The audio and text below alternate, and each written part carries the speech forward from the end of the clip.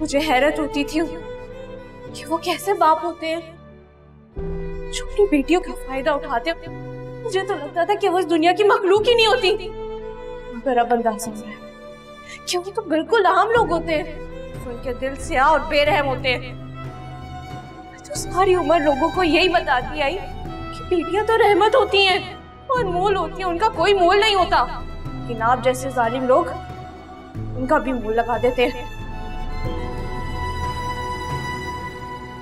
अमजद भाई किन ख्यालों में गुम है तबीयत वबीयत तो ठीक है ना आपकी?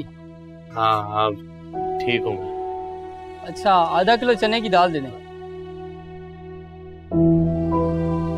क्या हुआ अमजद भाई खैरियत तो है ना? अगर कोई काम वाम है कोई मसला वसला है तो बताएँ।